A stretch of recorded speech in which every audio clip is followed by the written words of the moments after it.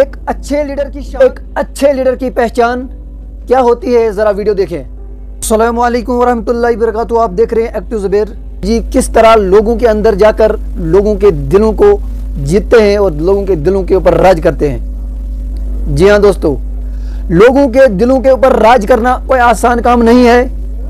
एक अच्छे लीडर की यही खासियत होती है कि जिस वक्त लोगों के अंदर जुल्म सितम हो लोग मायूस हो, लोग गमगीन हो, लोग तड़फ रहे हो, उस वक्त लोगों के बीच में जाना यही सबसे बड़ी बात है और यही सबसे अच्छी बात है। एक अच्छे लीडर की यही पहचान है।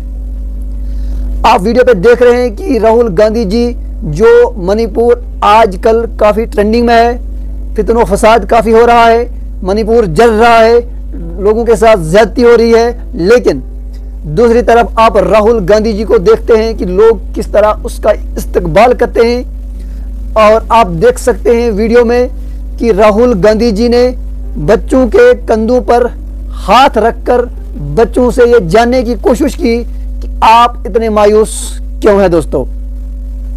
यही एक अच्छे लीडर की पहचान है और एक अच्छे लीडर की शान है। और लोग राहुल गांधी जी से ये कहते हैं कि आप यहाँ पर दबाव डाल सकते हैं। आप यहाँ पर प्रेशराइज कर सकते हैं। यहाँ क्या कुछ हो रहा है?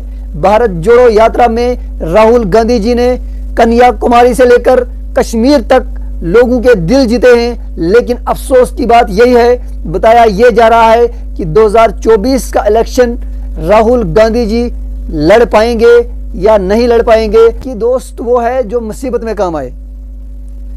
और आप यहाँ देख सकते हैं कि मणिपुर जल रहा है, लेकिन राहुल गांधी जी लोगों के बीच में तो शेयर करना चैनल पर नए हो सब्सक्राइब करना, दीजिए।